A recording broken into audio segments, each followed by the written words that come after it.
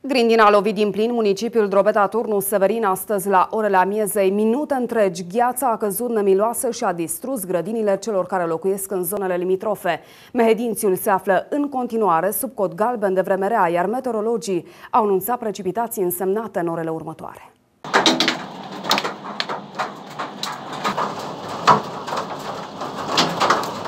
Grindina a căzut la drobeta turnul Severin minute în șir. Practic i-a luat prin surprindere pe trecători, mai ales că la orele dimineții nu existau semne de precipitații. Rafalele de ploaie și grindina au distrus grădinile din cartierele mărginașe și au ciuruit frunzele copacilor. Specialiștii au anunțat că Mehedințiul rămâne sub atenționare cod galben de vremerea. Până mâine seară, la ora 21, județul nostru se va afla sub atenționare meteorologică cod galben, ce vizează ploi însemnate cantitativ și instabilitate atmosferică temporar accentuată efectuată.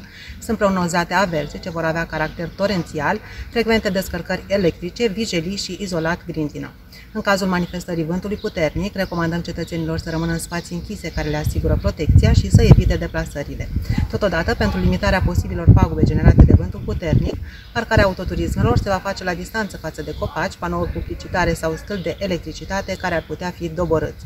Facem apel la cetățeni să ia măsuri pentru curățarea șanțurilor și rigolelor în vederea evacuării normale a apelor pluviale. Pentru a ne proteja, autoritățile ne îndeamnă să ieșim cât mai puțin din casă, să avem grijă unde ne adăpostim și să lăsăm autoturismele parcate corespunzător pentru a evita orice pericol.